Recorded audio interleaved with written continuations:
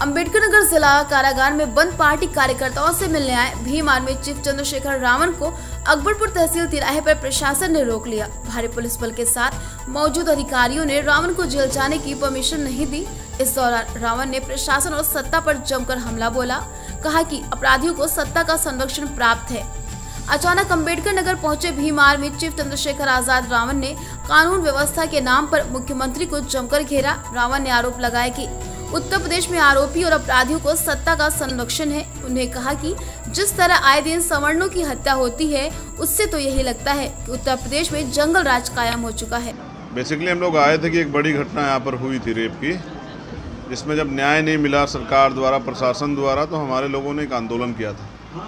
और तमाम तीस से ज़्यादा नौजवान जो हैं, आज जेल में हैं, मैं उनके परिवार से मिलने आया था, उनको दुख बांटने आया था। और ये मेरा रास्ता पड़े क्योंकि मैं आजमगढ़ जा रहा हूँ। आजमगढ़ में एक दलित प्रधान की हत्या की गई है। इस सरकार में कानून का राज तो समाप्त हो चुका है। अपराधियों को सत्ता का संरक्षण है। तो तमाम इनकाउंटर हों, बलात्कार हों, हत्याएँ हों या कुछ भी हों, वो सत्ता के संरक्षण सब चीज़ें चल रही तो हमारा दायित्व बनता है कि सरकार जो जिस झूठ पे सरकार चल रही है, जनता को सच बताया जाए।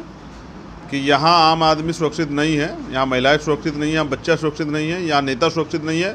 विपक्ष यहाँ बोल नहीं सकता है सरकार के लोग कुछ भी कर सकते हैं। विपक्ष अगर पीड़ित के घर जाना चाहता है या संवेदना प्रकट कर, करना चाहता है तो उसको रोक लिया जाता है। और तमाम तरह से जो है उसका शोषण किया जाता है मुकदमे लगाए जाए जेल जा भेजा जाता है।